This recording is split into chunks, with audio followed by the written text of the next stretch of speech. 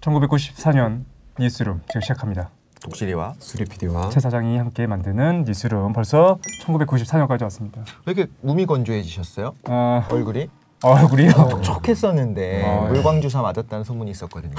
아니, 어디 갔죠? 원래는 이 후광이 나와야 되는데 간광이 나온다고 분을 사주신 분들이 몇 분 계세요. 진짜로? 아, 그래서 그 분을 좀 줄였습니다. 와, 아, 내 넘치는군요. 어, 뉴스룸은 1990년부터 시작해가지고 매해 가장 주요한 뉴스들을 뽑아가지고 같이 알아보는 시간을 갖고 있습니다. 벌써 94년까지 왔고 이때 태어나신 분은 지금 27살. 근데 좀 얘기하기 전에 갑자기 생각났네. 지난번에 왜 썩은 얼굴로 있었느냐. 아 나 이거 좀, 좀 오해인데 최 사장한테 그렇게 불만이 많은가. 나 없는데 썩은 적 있었어요. 상당히 이제 사장님에 대한 이게 불만이라든지 이런 것 자, 소리 PD가 익숙하지 않으면 자기 것만 이렇게 보니까 표정이 이렇게 안 좋을 수도 있잖아요. 근데 방송 하다 보면 이제 표정 관리를 해야 되잖아. 근데 소리 PD가 몰랐던 거야. 그것보다는 음. 제가 왼쪽이랑 오른쪽 얼굴이 달라가지고 그렇게 보이는 거예요. 아 그래요? 그럼요. 말도 안 되는 소리 하고 있어요. 배추도사 무도사 얘기 나오던데 무도사가 좀 더 괜찮았던 것 같은데. 94년 뉴스 좀 알아보려고 하는데 네. 당시 전 14살이었고 독실이가 13살. 13살, 7살. 근데 이제 어, 저는 빠른이라서 초등학교 있 정말. 아 이때 초등학교 왔어? 국민학교죠. 이제 그때까지 다다다 아. 알 시기군요 이제. 뭐 기억나는 거 있어요? 국민학교 1학년 때 성수대교 사고 이런 것들 아. 다 저 그것도 기억나요. 어. 김일성 주석 죽은 거. 사망. 어. 어 그게 94년이었나? 네, 그게 94 어. 기억나요. 그리고 그때쯤에서 나는 아버지가 라면을 사오셨어. 라면 박스채로. 어. 근데 그걸 왠지 몰랐었거든요. 음.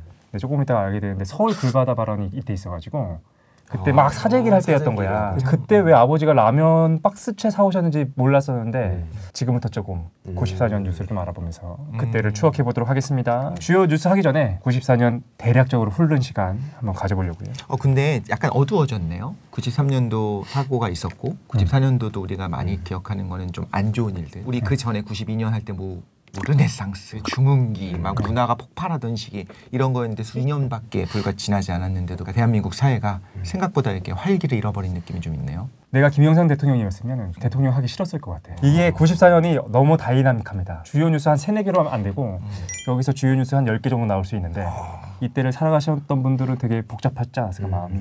우리 1편 했었던 게 삼당 합당이었잖아요. 네. 그걸 한번 보시면 최대장이 군부 정권한테 전화가 왔을 때 냉큼 아. 대통령을 하겠다고 하거든요. 아, 예. 그러다가 이제 94년 돼서 그만하겠다. 아. 지금 하겠다는 이게 다 연결되네 우리. 저희가 삼당 합당 얘기를 하도 많이 해서 네. 링크 항상 삼당 합당만 떠요. 아. 합당만 세번 나온 거 같은데. 1편부터 보시면 진짜 이건 처음부터 봐야 또 재미있는 방송인 것 같아요. 그렇죠. 좀 연결이 되면서 90년대 전체를 좀 이해하실 수 있을 것 같습니다. 네. 세계적인 측면에서 보면 그러니까 이어져 있어요. 독일도 통일되고 소련도 해체되고 이념 갈등의 종식 분위기가 쭉 이어져 가고 있다. 그러면서 어떤 문제가 발생하느냐? 탑이었던 두 세력이 막 싸우고 있을 때는 다들 조용하잖아. 그 탑이었던 사람들이 사라진 거야. 지역적으로 이제 문제들이 발생하기 시작하고 이게 민족 분쟁들로 나오기 시작합니다. 좋은 세상이 올 거라고 생각했을 거 아니야. 지구가에는. 음.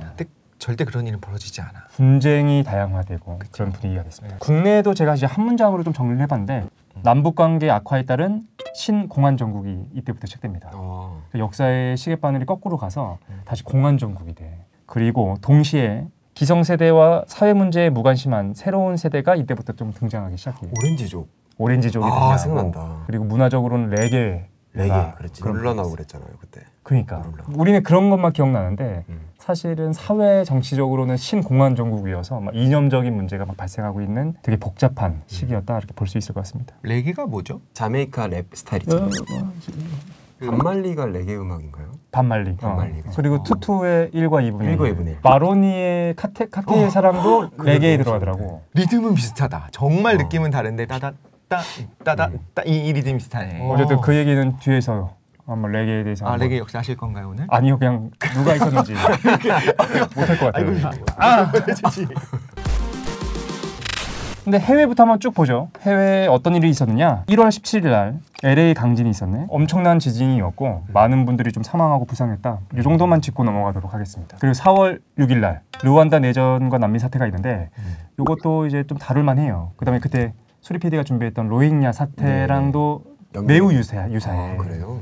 간단하게 얘기하면 네. 그러니까 소수 지배층인 투치족 그리고 다수 평, 좀 평화로운 사람들 그 후투족 간의 내전이에요. 그 벨기에 통치가 문제였어. 1919년에 벨기에가 통치하고 있을 때 이 소수인 투치족을 너무 중요시하고 차별 정책을 했던 거야. 이유는 뻔하네요. 그렇지. 음. 좀 지배하기가 좀 수월했고. 음. 또 소수를 또 이렇게 해야 음. 안에서 또 그렇지. 싸움이 일어나고. 그러니까 음. 나중에 이제 벨기에가 떠나면서 이제 음. 그때부터 분쟁이 시작됐는데 루안다 내전이 이때 있었고 최악의 난민 사태가 발생했다 정도만 짚고 넘어갈게요. 자, 벨기에는 참 나쁜 일 많이 하고 다니네요. 그 초콜릿만 만드는 줄 알았는데 그러니까.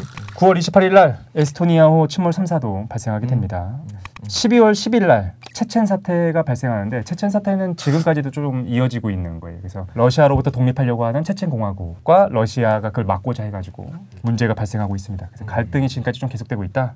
정도로만 볼게요. 하나하나 보면 재밌긴 한데 해외는 아주 대충 알아봤다. 음. 이런 일이 있었다. 어, 이런 식으로 준비하면 되는구나. 어. 나도 앞으로 이렇게 해야겠다 그냥. 역대급으로 어, 엄청 게 빨리 있는- 이렇게 이런 게 있는데요. 아 이건 뭐 오늘 자세히 안 나눠보겠습니다. 아, 왜냐면 실제로. 준비를 하긴 했는데 이게 중요한 게 아니야. 94년도에 국내 사건들이 너무 많기 때문에 어, 너무 많아서 해외를 요 정도로 정리해도 될 것 같아요. 국내를 보겠습니다. 내가 왜 해외를 이렇게 빨리 정리했는지를 이제 알 수 있는데 음. 통일 문제가 굉장히 그 이슈화됐던 시기였다라고 볼 수 있을 것 같아요. 통일 문제.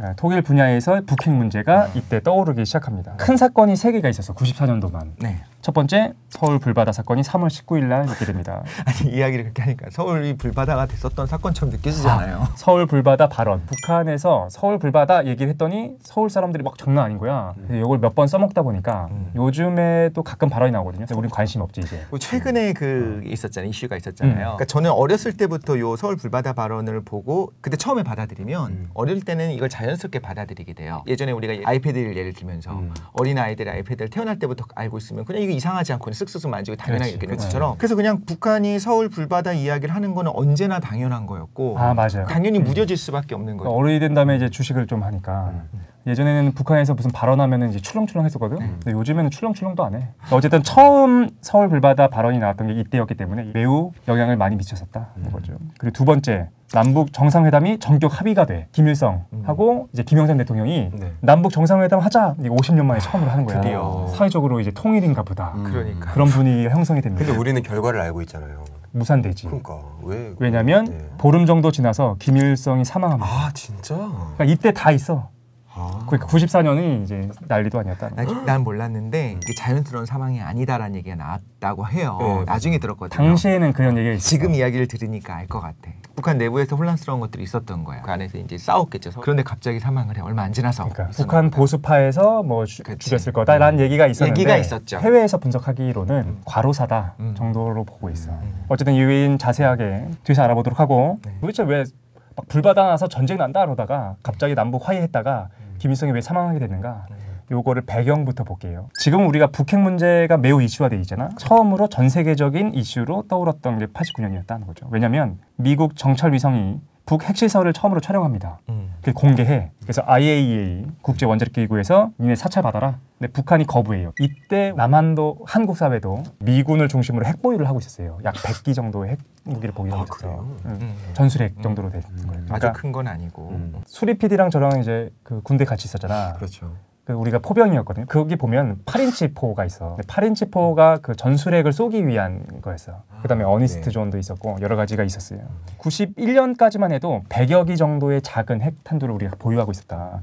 그러니까 북한에서 이렇게 얘기하는 거지. 야, 니네 핵무기 갖고 있는데 우리가 사찰받을 이유가 없다. 그래서 어떻게 하느냐? 91년에 미군이 한국에서 전술 핵무기를 다 철수시킵니다. 그리고 이때 처음으로 91년 12월에 노태우 대통령이 한반도 비핵화 선언을 하게 돼요. 그래서 미국이 이렇게 얘기하는 거야. 야, 됐지 이제 핵무기 다 치웠어. 그리고 니네가 핵사찰 받으면 팀 스피릿 훈련을 하고 있었거든. 나중에는 키리졸브로 바뀌게 네, 되는데, 네. 아 저는 키리졸브에 참여를 했었습니다. 오. 그러니까 한미 군사 그 뭐야 그 훈련이잖아. 네, 요 맞아요. 키리졸브 때 갔었어. 근데 이, 그 전에 팀 스피릿 훈련을 우리가 이제 안 하겠다라고 미군이 약속을 해줘. 사찰 수용을 하면. 그렇지. 음. 그 받아들일만 하지. 그렇지. 그래서 92년도에 북이 제안을 수용하게 됩니다. 음. 근데 이때 처음으로 한반도 비핵화 공동 선언에 서명을 하게 돼요. IAEA 사찰도 수용하게 된다는 거죠. 그럼 여기서 말하는 사찰 수용했다는 거는 지금까지 개발하고 있었다라고 하는 거는 어느 정도 인정한 셈인 거고 그렇죠. 더 이상 하지 않겠다의 의미로 우리가 받아들이면 되나요? 요즘에 들어서 지원을 해줘가지고 북한이 핵 개발을 했다라고 얘기하는 일부의 사람들이 있잖아. 음, 음. 근데 그렇지 않은 게 5, 60년대부터 이미 어, 김일성이 핵에 과- 관련돼서 관심을 기울이고 있었고 계속해서 개발을 하고 있었다라는 게 일반적으로 받아들여지고 있어요. 그건 뭐 너무 당연한 게 음. 어느 나라나 뭐 중국도 마찬가지로 계속 핵 개발을 처음부터 하고 싶어 했고 인도도 마찬가지고 우리도 사실 박정희 정권 때 그렇죠. 하고 그렇죠. 싶어 했었으니까 어쨌든 그래서 IAEA 사찰을 수용하거든요. 그런데 북한이 제시한 플루토늄의 양과 실제 양이 일치가 안 돼. 미국이 이제 위성으로 촬영해 보니까 한 두 곳 정도의 핵시설이 더 있는 걸로 밝혀진 거야. 아. 왜 그런지를 이제 추궁한 거지. 야, 왜 다르냐. 근데 북이 IAEA와 미국을 비난하고 사찰을 거부하게 됩니다. 그러니까 우리는 보여줄 만큼 다 보여줬는데 너네 음. 계속 이렇게 트집을 잡냐였을까요? 음. 근데 실제로 북한이 이제 숨겼던 거지. 사실은 숨겼던 거지. 그러니까 아니, 북한이 뻔하게 어. 지금 답이 다 드러나 있는 상황. 아니 비난한다고 했을 때 주어가 좀 바뀐 줄 알았어. 아니 내 사찰 받는다면서 숨겨놨잖아 하고 미국이 북을, 북을 비난해야 될 것 같은 분위기인데 아, 이 상황에 갑자기 그러니까. 북이 미국을 비난했다고 하니까 원래 일반적으로 똥 싼 놈이 승진을 되었습니다. 그 결과 94년이 되면 북한이 핵 확산 금지 조약 NPT를 탈퇴하게 됩니다. 그래서 이때가 우리가 보통 1차 북핵 위기다라고 부르게 돼요. 사실 요거를 이제 긴 시간을 두고서 하나하나 얘기하면은 재미있거든요. 근데 요걸 주요하게 보려고 하는 건 아니니까 좀 압축적으로 얘기하면 핵 문제를 갖고서 북한과 미국이 줄다리기를 하는 걸 이때부터 계속해서 시작하게 돼요. 그러다가 94년도가 되면 북미 핵사찰 합의를 다시 하게 됩니다. 그래서 핵사찰을 수용하고 그다음에 남북 고위급 회담을 개최하는 약속을 북한과 미국이 하게 되는 거야. 또 하는 거네요. 음, 다시 하게 된 거야. 그러니까 중간을 핵사찰을? 제가 이제 건너뛰었어요. 근데 이게 북한과 미국이 한 거잖아. 합의한 사항 중에 남한이랑도 얘기해라는 게 포함되어 있었던 거야. 음. 그때 서울 불바다 발언이 나오게 됩니다. 음. 남한의 실무자와 북한의 실무자가 같이 만나요. 고위급 회담을 위한 사전 실무 접촉 회의에서 실무 회담 북측 대표단장 박영수가 이런 얘기를 해. 여기서 서울이 멀지 않습니다. 전쟁이 일어나면 불바다가 되고 말아요. 이- 우리 이제 남측 대표가 송 선생이었나 봐. 송 선생도 아마 살아남기 어려울 거요. 이런 그렇게. 얘기했다고. 어, 이런 얘기예요. 남측 우리 대표가 뭐라고 얘기하느냐? 아, 그걸 말이라고 합니까? 그럼 우리가 가만히 있을 것 같아요? 지금 전쟁 선언하는 겁니까? 뭐 이런 얘기를 해. 그랬더니 이 박영수가 뭐라고 얘기하느냐? 아니 그쪽에서 전쟁 선언을 했다는 거요. 왜 말을 듣지 않고 졸고 있어? 그러니까 회담에서 나올 수 있는 얘기들이 아닌 거야. 이거는 뭐 거의 뭐 주먹 다짐까지 갈기 직전이었던 거죠. 청와대가 어떻게 하느냐? 원래는 보통 협상 비공개가 원칙이잖아. 요걸 깨고서 이 영상을 공개합니다. 그래서 이로 인해서 남북 위기감이 급속히 고조되게 된다. 약간 마지막 포인트가 이해가 안 가는 게왜 음. 이렇게 네. 냉랭해요? 남한과 북한이 합의의 주체는 아니었던 거야. 서로 얻을 수 있는 것도 없었고 김영삼 정부가 통일에 대한 일관된 정책을 갖고 있지 못했던 이유도 있고 여러 가지가 있었어요. 2020년을 사는 우리가 생각할 때는 아니 남북의 어떤 대화의 주체가 우리가 되지 않느냐라고 생각할 수 있는데 당시를 생각해 보면 당연히 중심이 미국으로 돌아가고 미국이 시키는 대로 하고 근데 뒤에 보면 알겠지만 사실은 몇 번의 남과 북이 회담의 주체가 될 수 있는 상황들이 있었거든. 근데 그거를 잘 우리가 못 챙기기도 해. 청와대가 오픈한 이유는 뭘까요? 이걸 공개하지 않는 여러 가지 이유가 있지만 그 중에 하나가 불필요한 시민들의 동요를 막기 위해서도 있잖아요. 음. 이 뭐가 있냐면 주사파 파동이라는 걸 이제 다루게 될 거거든. 주사파 파동과 관련돼서 한국 분위기를 좀 보면 김영삼 정부에서 이걸 왜 공개했는지도 우리가 좀 생각해 볼 수 있을 것 같습니다. 네. 근데 급반전이 있습니다. 지미 카터 미국 전 대통령이 개인 자격으로 북한과 남한을 방문해 가지고 남북 정상회담을 성사시켜요. 그래서 김일성 주석이 남북 정상회담 참가 의사를 밝혔고 김영삼 대통령이 이를 수락하게 됩니다. 6월 달이 되면 통일의 분위기로 바뀌게 돼. 정상회담을 합의하고 7월 25일 평양에서 만나자 음. 진행이 됩니다. 그래서 사람들은 이제 통일인가? 뭐 이런 생각을 하게 된 거죠. 하지만 보름 후에 우리가 잘 알고 있는 그 일이 발생합니다. 김일성 사망. 7월 8일 날 새벽 2시. 지금 원인은 심근경색으로 알려져 있어요. 탈북하셨던 분들의 증언에 따르면 7월 8일 이제 새벽 2시잖아. 7월 7일 그 밤에 이미 이제 사망했다. 근데 한 5시간, 6시간 동안 계속해서 심폐소생술을 했었나 봐. 그걸 중단시켰던 게 7월 8일 새벽 2시다 정도로 우리가 얘기를 하고 있습니다. 7월 9일 날 조선 중앙방송 보도가 있습니다. 음. 위대한 수령 김일성 동지께서 음. 7월 8일 2시 급병으로 서거하셨다는 것을 가장 비통한 심정으로 온 나라 전체 인민들에게 알린다. 평양 시민들이 그거 들으면서 울고 하는 장면들 있잖아요. 사회적인 히스테리다. 막 우리 비난 많이 했었죠. 어쨌든 평양이 울음바다가 됩니다. 음. 남북 정상회담도 무산이 돼. 그리고 7년이 지난 다음에 2000년이 돼서야 김대중 대통령 때 이제 성사가 되는 거죠. 문제는 뭐냐? 한국은 조문이나 조의를 표해야 될까? 6.25의 주범이잖아. 죽었어. 어, 심지어 김일성은 그렇지. 그렇지. 수계죠, 진짜 수계. 어. 지금 지금은- 시점이랑은 또 아, 다르게 해석을 해야 되니까. 그러니까. 김영삼 대통령이었다. 어떻게? 아 대명삼 대통령이 내가 그냥 유감 정도 표현했을 것 같아요. 조문은 갈 수가 있나요? 북한이 나중에 전 세계 조문을 받게 되거든. 음. 그것도 남한 정부 때문이었는데 받기도 해. 음. 그래서 니네 오면 받아줄게. 야, 근데 조문은 좀 위험할 것 같다는 생각이 좀 드는데. 아니, 대통령이 아. 직접 가는 건 아니겠지. 그렇지. 그렇지. 조문 단을 이제 단을 보내는 거죠. 예. 저라면 단을 파견할 수 있겠다라는 생각이 들긴 들어요. 어, 빨갱이 두고 함께하는. 왜냐면은 이런 일이 발생했어. 그러니까 야당 의원이 이 상황에서 이제 조문이나 조의 얘기하기 힘드니까 김일성이 얼마나 나쁜 존재인지에 대한 얘기를 다 하고 음. 우린 조문은 힘드니까 조의 정도는 하는 게 좋겠다라고 얘기하는 순간 여당과 그리고 보수 언론에서 그렇죠. 빨갱이구만. 저는 좀 비슷한 생각이네요. 6.25의 어떤 원흉이 되고 이런 거 다 이야기하고서 음. 어떤 국제적인 것들이 얽혀 있으니까 음. 조의 정도만 표현하자 하자마자 최 사장이 우리를 비난한 것처럼 야당에서 빨갱이구나. 가고. 근데 보수 언론에서 음. 도대체 어느 나라 국회의원이냐. 지금 뭐 주사파냐. 왜냐면 여당은 우리가 삼당 합당을 통해서 이제 군부와 다 이게 섞여 있으니까 맞아요. 그런 일이 발생하게 됩니다. 음. 그래서 대혼란에 빠지게 돼요. 음.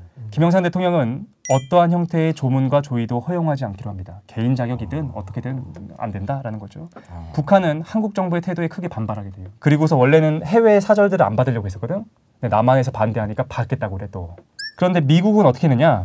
그때 이제 클린턴이었거든요. 클린턴 대통령이 공식적으로 조의를 표명하게 돼. 그래서 북한과 미국은 대화를 계속하기로 합니다. 음. 그래서 10월 20일 날 북미 협상을 통해서 북핵 문제가 타결돼. 그래서 그걸 제네바 합의라고 하거든요.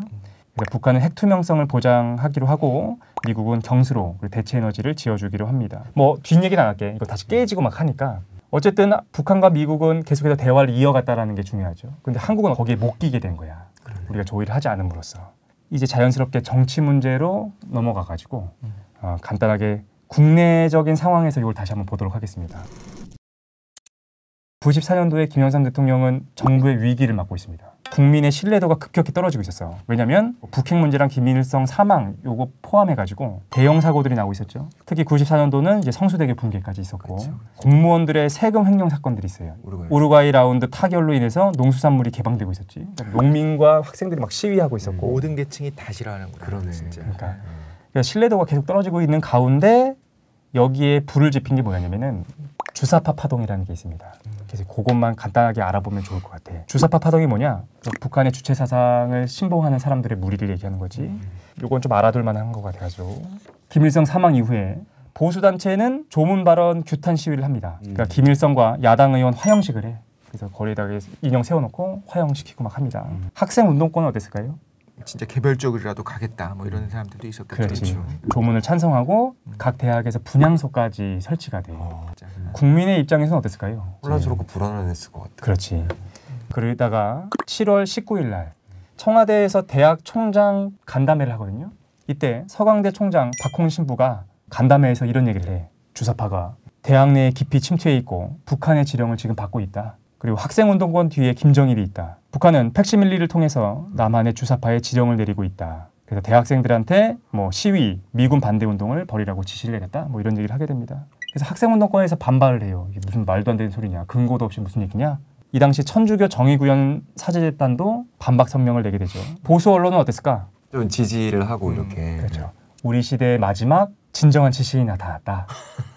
그리고 방송 3사는 박홍 총장 특집 기자회견을 벌입니다. 아이고. 기억이 나거든 나는. 박홍 신부님은 이제 재작년인가 돌아가신 걸로 알고 있는데 방송국에서 와가지고 막 하고 막 그랬었어요.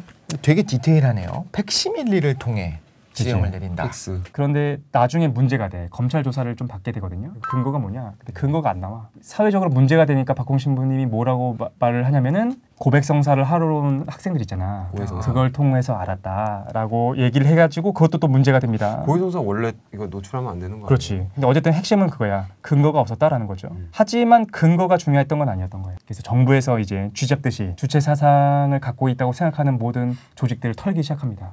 대략적인 얘기만 좀 할게요. 뭐 전국 대학의 학생 운동권들 예, 탈탈 털리기 시작하고 음. 그다음에 대학에서 교양 과목들도 검열의 대상이 돼. 그리고 조정래 작가가 국보법 위반 혐의로 불구속 입건되기도 하고 이때 이제 천리안 등 인터넷이 좀 발전하기 시작했거든. 음. 그때 이제 북한이나 공산주의 관련 게시물들이 국가보안법 위반으로 기소도 되고. 그러니까 어떤 분위기가 형성되고 있느냐? 음. 한국 사회에 새로운 공안 정국이 음. 형성됐다라는 거죠. 원래 삼당 합당을 한 다음에 음. 생각보다 이제 군부 정권의 색깔은 짙지 않고 처음에 시작할 음. 때는 개혁과 막 개방과 약간 이런 느낌으로 가다가 사회가 좀 어지러워지고 혼란스러워지고 음. 그 중에 어떤 거는 천재지변도 있었을 것이고 그런 일들이 벌어지면 사회가 보수화된다라고 흔히 말을 하는데 음. 그게 딱 드러나네요. 그리고 궁금한 게 김영삼 대통령은 사실 운동권 출신이잖아요. 김영삼 대통령이 어떻게 할 수 없을 정도로 이게 이슈가 됐던 건가요? 그러게 본인도 감옥을 갔다 왔잖아요. 그러니까. 그러니까 그래서 이렇게 평가할 수 있을 것 같아요. 한국 사회가 왜 문민 정부가 들어섰는데도 불구하고 왜 신공안 정국이 되었을까? 사실 세 가지 정도로 보통은 얘기를 합니다. 첫 번째, 김영삼 대통령이 통일에 대한 철학 자체가 좀 부족했다. 그러니까 음. 일관성 있게 정책들을 펼쳐 나가야 되는데 화해하자면 화해하려고 했다가 뭔가 아닌 것 같으면 너무 강력하게 대응했다가 혼란을 발생시킨 거다라고 평가하는 사람들이 있고 두 번째, 정부에서 북한이 금방 붕괴할 것이라고 예측했기 때문이다라고 보기도 해요. 아, 김일성이 죽었네? 그럼 음. 북한이 붕괴하겠지. 해체를 하고. 그때 우리가 좀 직결해가지고 뭔가 대응을 해야 되니까 음. 일부러 좀 강력하게 나선 거다라는 것도 있어요. 세 번째가 가장 중요할 텐데 아까 독실이가 얘기했던 것처럼 보수 세력이 반격을 한 거야. 문민 정부가 들어서면서 위기 의식을 느꼈던 보수 언론들 아니면 보수와 연결돼 있던 사람들 그리고 기존의 공안들 군부 세력이 드디어 반격을 하기 시작한 거다. 라고도 볼 수 있겠다라는 거죠. 여기까지가 이제 94년도에 있었던 통일, 그 외교 문제 그리고 정치에 대한 얘기를 좀 해봤는데 이제 널널한 얘기를 좀 해봅시다. 94년도에 그런 일만 있었던 건 아니니까 사회는 그렇게 돌아가고 있었지만 어린 우리들은 음. 거기에 이제 휘둘리지 않고 그러니까. 문화를 즐기고 있었죠. 전혀 몰라. 사실 주사파라든가 이런 용어 자체도 그냥 막연하게 아, 안 좋은 거다라고만 알고 있었지 실제적으로 뭘 말하는 건지 그 주체 사상이라고 하는 말 자체가 이제 고유명사화 됐잖아요. 소용사죠. 어, 그런데 이제 주체라고 하는 단어와 사상이라고 하는 단어 자체가 뭐 나쁜 단어들은 아니잖아요. 주체적으로 살아라 뭐 이런 얘기를 많이 하니까. 근데 그런 것들이 어떤 건지 알게 되기까지는 전 대학을 간 다음에는 알았어요. 지금 윤리 시간에 나와요. 그래서 북한의 두 가지 노선에서 이제 선군 정치와 주체 사상을 윤리 시간에 배워. 어, 그러니까 그렇게 어린 나이에는 그냥 뛰어놀았었는데 이런 듣다 보니까 좀 암울했구나. 그러니까 우리들은 이제 천진난만했지만 어른들한테 있어서는 이제 이념에 대한 문제 이게 다시 불거지기 시작했다. 음. 하지만 사회면을 보도록 합시다. 이제부터 94년은 한국 방문의 해였습니다. 음. 한국인의 기상이 느껴지지 않습니까? 막 길거리에서 화형식 하고 있는데 한국 방문의 해, 우리 다이나믹하다 이거 보러 와라. 음. 3월 16일 날 처음으로 생수를 국내 판매를 시작합니다. 야. 어. 저도 이거를 94년도 뉴스를 보다 보니까 알게 됐는데 이 이전까지는 생수 판매를 하지 않았던 거예요. 정확하게 그렇지. 말씀드릴게요. 그 전까지 우리가 웃으면서 농담같이 나중에 물도 돈 주고 사 먹는 날이 올 수도 있어. 이렇게 환경 음. 파괴하고 그러면 막 음. 그 내일은 늦으리 콘서트가 92년인가 있었던 어, 것 맞아요. 같아요. 어. 그런 거 할 때부터 나왔었던 얘기가 야 그럼 나중에는 공기도 막 그러니까. 그 모아가지고 맑은 공기 모아서 막 스프레이 캔 같이 파는 거 아니야?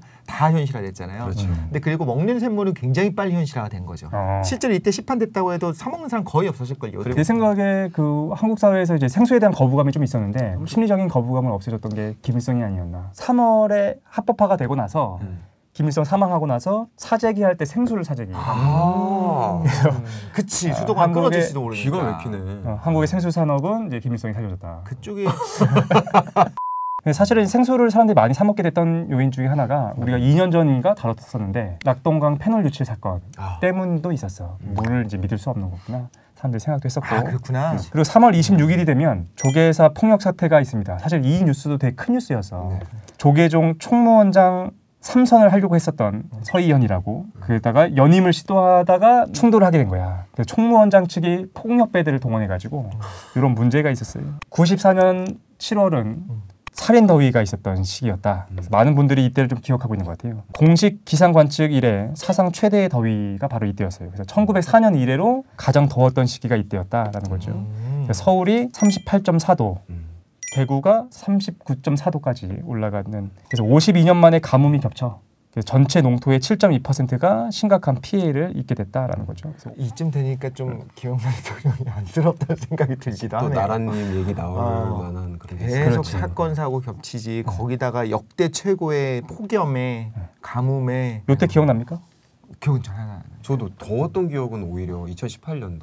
음, 2018년 진짜 더웠다고 했잖아요. 그래서 그때도 음. 별로 못 느껴요. 1994년 폭염을 갈아치웠던 게 지금 얘기했던 아, 것처럼 그래요? 2018년 더위였어요. 아, 2018년이 진짜 역대 진짜. 더웠거든요. 그때 서울 최고 기온이 39.6도. 어쩐지 덥더라. 근데 이렇게 봐야 돼. 2018년이 94년보다 더 더우니까 음. 2018년이 더웠나 보다 음. 이렇게 생각하면 안 됩니다. 어, 왜 엄청 엄청난 차이가 있지. 에어컨의 유무의 차이가 있는 아, 고급 91 에어컨이 자체가. 차이가 이때는 이제 지하철에도 에어컨이 들어오지 않았을 때다. 아, 그러니까 이때가 그 어디 가야 돼? 은행 가야 되네. 그렇지. 은행. 맞아 옛날에 그래서 어. 은행 많이 갔잖아요. 그래서 너무 더우면 은행 가라 뭐 이런 얘기가 있었어. 실제로 TV에는 얘기를 할 정도겠네요. 왜냐하면 사망을 하거든요. 그래서 이때 더위를 우리가 다시 느낄 수는 없어. 아무리 지구 온난화가 심화되고 점점 더워져도 하긴 그렇다. 94년의 그때 더위를 그때 선풍기 사재기가 또 발생해가지고 선풍기 가격이 폭등하게 돼요. 아 맞아 지금도요 그렇게 더운 여름 한 번 할 때마다 에어컨 설치하려면 한 달씩 기다려야 된다 이러면서 아, 에어컨. 사재기 일어나잖아요 그래서 이때 돌아가신 분들도 많이 계시죠. 그러니까 많이 돌아가셔요 아니, 무서워.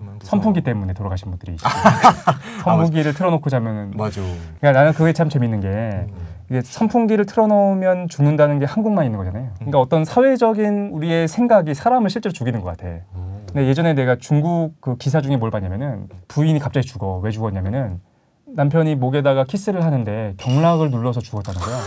전 세계에서 경락을 눌러서 죽인 거는 이제 중국이 유일한 거잖아. 그러니까 그 오. 사회에 갖고 있는 어떤 뭐랄까 선입견이나 그런 것이 뭔가 사람을 실제로 죽이는 것은 아니다. 뭐 이런 생각이 듭니다. 전 약간 미디어가 어- 어떻게 동작하는지가 좀 드러나는 것 같아요. 신문에 난 거는 기본적으로 좀 신뢰를 하고 가요. 우리가 뭐. 꺼무위키 이런 거보다는 신문을 신뢰를 할 거 아니에요. 그렇죠. 그래서 진짜 뉴스 클로징 멘트에서도 그런 얘기가 나왔었다고 해요. 뉴스에 나와서 선풍기 어. 틀고 자면 안 된다. 안 된다고. 저는 긴급구조 119인가 옛날에 어. 거기에 이게 나왔었어요. 선풍기 틀고 자가지고 죽은 사람의 이야기가 나왔거든요. 음. 그럼 그건 있을 수 있지. 그러니까 선풍기를 틀고 잤는데 사망했다. 가능할 수 있고 보통 사망했는데 그러니까- 선풍기가 돌아가고 있었다. 그러니까. 이것도 가능하고 아. 근데 여러 가지가 있으니까 제가 이끼라고 하는 웹툰을 보면서 어, 머리를 망치로 한 대 맞은 것 같은 그 느낌이 뭐였냐면 그 주인공이 음. 아버지인가 이게 사망했다는 말을 맞아요. 듣고 음. 가요. 근데 음. 거기서 그 사인이 뭐냐? 그 노환으로 음. 나이가 들어서 이제 자연사셨다. 그럼 세상에 어딨냐? 그래도 원인이 있을 거 아니냐? 근데 그 음. 말 듣고 나니까 그렇구나 싶은 거야. 뭐가 있어야 되는 거야. 기저질환이 있든 어. 그 의사라면 마땅히 그걸 얘기를 해줘야 되는 거지. 음. 그런데 그냥 우리가 사회적으로 퉁쳐서 아 나이가 들어서 이제 노안이 있기 음. 때문에 자연사를 하신 거다. 음. 이렇게 이야기를 하는 거를 받아들이지 못하는 그 주인공을 보면서 어 나도 그래야겠다라는 생각을 했었어요. 아 실제 원인이 있을 테니까. 당연히 그걸 그렇게 찾아야 하지 되는 말자. 거지. 그냥 음. 대충 넘어가는 게 아니라 음. 노약자였어. 사망한 채로 발견이 됐어. 근데 선풍기가 계속 돌아가고 있었어. 그러면 이제 그걸 대충 퉁쳐서 얘기하지 않았나. 제대로 된 사람은 그렇게 판단하면 안 되죠. 그렇겠지. 참, 어, 좀 자격이 좀그 당시에 좀 떨어졌던 사람들이 뭐 음. 기자가 됐든 누가 됐든 그걸 이제 재생산하는 과정에서 대충 하지 않았나. 사실 그랬을 것 같아. 어쨌든 그래서 이때는 선풍기 괴담이 막 돌고 있었다라는 거죠. 그리고 사회적인 걸 또 하나 보면은 11월 29일 날 서울 정도 600년 기념 이때가 딱 600년이었어. 음. 그래서 서울 천년 타임캡슐을 남산공원에 묻게 됩니다. 그래서 개봉은 언제 하느냐? 천년째 되는 2394년 11월 29일 날 이제 개봉을 하게 될 거야. 나 기억나는 것 같아. 어, 기억나요? 그, 어. 그 타임캡슐 모양도 기억나요. 어 그래요? 종 모양으로 생긴 거 맞아. 진짜 도신각종 기억나. 모양. 아. 그리고 요때 되게 다른 데서도 많이 흉내를 내고 우리 학교에서도 했었었고 아, 맞아. 이때 타임캡슐이 유행이었어요. 이 어, 1m 70 정도 되고. 이 직경은 1.3m, 음. 500리터 용량입니다. 600점을 딱 넣었어. 뭘 넣었을까를 좀 알아봤습니다. 일반적인 이, 그이 시대를 좀 반영하는. 대표하고 그렇지. 많은. 94년도를 대표하는 거. 담배, 화투, 복권, 신문, 콘돔, 샤프, 연필, 노트, 책을 넣었다. 되게. 일상적인 거야 진짜 너무. 요거는 일상적인 거고 옷과 좀 연결된 것도 넣었어요. 음. 기저귀, 팬티 스타킹, 남녀 수영복, 남녀 의복, 그다음에 경찰, 소방 공무원 제복도 넣고 뭐 워드 프로세서 야. 아래아 한글 2.5를 넣었습니다. 그거 어떻게 넣었지? 이때 막 CD롬이 그 최신이었거든. 아. CD롬을 넣었을 것 같아. 그 CD를 읽을 수 있는 장치도 같이 넣어주고 그 컴퓨터를 다, 다 넣어주지 않으면 그거 못 읽을 텐데. 팬티움 넣었어야 되는 거야. 나도 그게 문제인 것 같아요. 음, 무선 전화기, 음. 삐삐, 휴대폰이 이제 초기였는데 휴대폰도 넣었다라고 CD폰. 해요. 어, 이런 아. 것도. 그리고 94년 당시 시대상을 담은 CD롬이 들어가 있습니다. 그다음에 CD롬은 너무 최신이었고 네. 이때는 이제 필름, 음. 그다음에 영상 기록물들을 좀 넣었다라는 거죠. 음. 그러면 실제로 컨텐츠가 있어야 될 거 아니야? 그렇죠. 그렇죠. 컨텐츠를 뭘 넣느냐? 음. 서편제, 블루시걸이 들어갔습니다. 블루시걸이 뭔지 알아요? 블루시걸 들어봤는데 뭐예요? 한국 최초로 방영된 만화 영화 성인물. 그래요? 어. 이름을 들어봤어 블루시. 그래서 망했어요. 예. 누가 선정한 거야? 근데 되게 눈을 뜬 사람이 넣은 것 같은 느낌. 그러니까 이렇게 생각하겠지. 우리가 이 정도 개방돼 있다 이제는 그걸 음. 보여주고 싶지 않았을까라는 거예요. 그리고 이거가 이제 하, 김건모 앨범이 들어가 있습니다. 음. 이 당시 이제 김건모가 이제 인기가 최고였기 때문에 웃겨요. 부동산 매매 계약서, 상품권, 공무원 급여 명세서, 초중고 시험지, 운전면허증 뭐 이런 것들을 넣었어요. 어, 난 이건 좋다. 음. 왜- 왜냐면 우리가 뭐 조선시대 그 사람들이 어떻게 살았을까를 볼 때 문서화된 걸 보고 보잖아요. 그때 만약에 어떤 관료가 받았던 봉급 명세서가 발견이 된다. 그치. 라고 하면 그때 아 이때 관료들은 이런 식으로 이렇게 했었겠구나라는 그러니까. 것을 우리가 이제 동심의 세계에서 욕을 지금 해석하고 있는 거잖아요. 실제로 욕을 제작하거나 날려보낸 사람들이 그걸 생각했을까? 아니겠지. 이슈화, 네. 이슈화가 아, 필요한 거고 네, 그 당시 사람들이 좀 이슈화 될 걸 넣겠지. 사실은 동심 금판 파괴가 아니라 넣어봤자 지금 나 성인심 파괴됐어. 순간적으로. 이게 사실입니다. 그러니까 그 아, 외주 업체에서 만들 때 그래, 아, 아. 그냥 해서 넣어. 그러니까 보이저호에 그 담을 때도 그걸 왜 했었냐면은 나사나 이제 운용 자금이 필요한 거야. 근데 국민적인 관심사가 없으면 이게 돈을 모을 수가 없으니까 야 이런 거 우리 넣는다 외계인 읽으라고. 아, 이렇게 삐딱해. 이것도 상처를 주고 있어. 거죠. 서울도 이거 좀 이슈몰이 하려고 만든 거지. 어쨌든 이런 일들이 있었다는 거죠. 그러니까 한쪽에서는 이제 공안몰이 하고 있지만 문화적으로도 이런 것들이 있었다라는 거죠. 사고 얘기를 마지막으로 잠깐 해볼까? 10월 21일 날 우리가 잘 알고 있는 성수대교 붕괴 사고가 이때 있게 됩니다. 어, 오전 7시 40분 이때 출근 시간이었지. 성수대교의 5, 6번 교각 상판 48m가 무너진 사건이었고 32명이 사망하고 17명이 부상하는 사건이었습니다. 뭐 여러 가지 원인에 대한 분석은 시공사, 부실공사 그리고 당국의 안이한 관리가 만든 참사로 결론이 내려졌어요. 이 이후에 이제 전국적으로 교량, 그다음에 이제 시설 구조물에 대한 정밀 안전 진단이 체계적으로 진행됐다. 그다음에 또 10월에 충주호 유람선 화재 사건이 또 발생하게 돼요. 그래서 이때 29명이 사망 실종되는 사건도 있었고 그다음에 아현동 도시가스 폭발 사고가 12월에 있기도 합니다. 그리고 반인륜적 사건들도 이때 있거든요. 그래서 5월 달이 되면 박한상 사건이라고 해가지고 부모를 흉기로 찌르고 불태워서 발생한 사건이 있었어요. 그래서 11월에는 사형 선고가 나게 되는데 어쨌든 이제 반인륜적인 사건들이 지존파 사건도 이때 있었고 아, 지존파도 이런. 것들이 있었다는 거죠. 음. 사실 다른 연도 같았으면 이런 걸 다룰 만한데 음. 94년도에 워낙 다이나믹한 그러니까. 사건들이 많아가지고 네. 요번이 묻혔다라는 거죠. 여기까지가 어, 1994년 어, 주요 뉴스를 좀 다뤄봤고 음. 문화 부분이 좀 빠지지 않았습니까? 그렇죠. 레게, 뭐 X 세대, 오렌지족 음. 이런 얘기들은 음. 우리가 시간이 촉박하니까 팟캐스트에서 좀 길게 다루도록 하고 우리는 이제 사건 사고까지 살펴봤습니다. 네. 어떻게 보셨는지 한 마디씩 얘기한 다음에 음. 정리하도록 하겠습니다. 어땠습니까? 어떻습니까? 저부터요. 예. 예. 저는 국민학교 1학년이기 때문에 아, 어렸을 때 저는 행복했고 지금 어렸을 때를 떠올리면 맑은 하늘이 떠올라요 항상. 자기를 너무 포장한다는 생각이 갑자기 들기 아니 시작합니다. 아니야, 난 근데 얘기 어, 떠온다고? 어, 항상. 그러니까 한 번도 비온 적이 없는 것 같은 느낌이 들어요. 아, 94년도가 나도 그런 것 아니라 같아. 예. 그런 자기 거 같아. 포장이 과하고 좀 손발이 오그라들고 아니에요. 이게, 이게 어두운 삶을 보냈던 아니에요. 이런 얘기를 듣다 보니까 시대별로 음. 세대별로 시각이 다를 수밖에 없겠구나라는 걸 다시 한번 알게 된 것 같아요. 음. 이런 불안한 것들이 있었고 정말 이거를 아는 사람의 입장에서 보면 계속 "세상이 어떻게 되는 거지? 너무 불안한데? 어. 라고 생각이 들 수밖에 없었겠구나라는 생각이 들어서 당연한 건데 네. 94년이 진짜 사건 사고가 많았고 지금 듣는데 막 와, 막 가슴이 좀 답답해질 정도로 어두운 것들이 많았잖아요. 근데 어른들이 힘들었을 거예요. 그때 막 이제 청년이 되고 이제 이 음. 스무 살이 되고 음. 사회생활 시작해야 되는 분들이 아, 도대체 세상이 어떻게 되려나 혼란스러움을 느꼈을 텐데 그때 살았던 아, 독실이는 음. 그 우리들은 네. 그런 걸 못 느끼고 좀 천진난만했다고 했잖아요. 음. 그 시대 어른들한테 좀 고맙다는 생각이 들기도 하네요. 그리고 우리도 음. 그런 어른이 되어야겠다는 생각이 들기도 하고 어린 아이들한테 내가 지금 세상이 어, 어렵다 힘들다 물론 말할 수도 없고 말해봤자 이해도 못하겠지만 혼란스러운 상황 그리고 진짜 어두운 사건 사고가 계속 나타나고 어떤 분들은 많이 눈물 훔치기도 하고 했었던 그 시대에 음. 를 살면서 어린 아이들은 그래도 계속 밝은 모습을 자라나길 원하는 게 갑자기 딱 생각이 났어요. 왜냐면 나도 맑았던 하늘을 생각하는데 저도 그거밖에 생각이 안 나요. 아 진짜? 막 비가 주룩주룩 왔었던 것보다는 오히려 진짜 해가 쨍쨍하게 내려지는 그 마당과 94년도에 더워서 그랬던 거 아니야? 그럴 수도 있고 어. 근데 저는 이게 햇빛 쨍쨍한 거 좋아하진 않아요 밖에 나가서 뛰어노는 걸 좋아하지 않으니까 아. 그냥 그게 생각난다는 거지 어쨌든 그런 맑은 것들이 생각나고 음. 나는 전혀 눈치채지 못하게 우리 부모님 세대는 힘들었겠구나 아, 좀 그분들한테 고맙다는 얘기를 좀 하고 싶네요 저도 갑자기 두 분 얘기를 좀 들으니까 아 그랬나 보다. 아, 좋은 것만 생각나잖아요. 그리고 문화적인 것만 생각나고. 갑자기 지금 반대가 되셨어요. 그러니까 자기 포장을 시작하셨네요 그러니까 나는 기억이 잘 안 나거든 이때가. 아, 근데 사회는 되게 복잡하게 돌아가고 음. 이때를 살아가는 사람 막 불안했을 거고 음. 지금 이두분 말씀을 또 들으면서 지금을 생각하게 했어. 저는 지금이 진짜 복잡한 것 같거든요. 미국엔 트럼프가 있고 코로나가 막 있고 음. 지금 사회가 망하는 거 아닌가? 막 너무 불안한데 갑자기 생각이 든 게 아 지금 그러면 일곱 살 음. 한 10살 정도 되는 젊은 친구들은 이때를 아름답게 보고 있겠구나. 음. 그리고 한 있겠다. 20년, 30년 지나서도 돌아보면서 가- 그때는 참 재밌었어. 뭐 마스크 끼고 다니는 것도 뭐 추억처럼 얘기할 수도 있겠구나. 음. 갑자기 그런 생각이 그러니까. 들었습니다. 그러니까 그렇게 어린아이들의 동심을 계속 지켜주고 주기 위해서 애쓰고 있는 우리 어른들이 다 대단하시다라는 생각이 든다는 거죠. 아 그래요. 어쨌든 여기까지 유튜브는 좀 진행하도록 하고 나머지 문화, 문화는 좀 이제 좀 즐거운 것들이 좀 있으니까 문화와 관련된 것들은 음. 팟캐스트에서 좀 진행하도록 하겠습니다. 여기서 마치겠습니다. 감사합니다. 감사합니다. 감사합니다.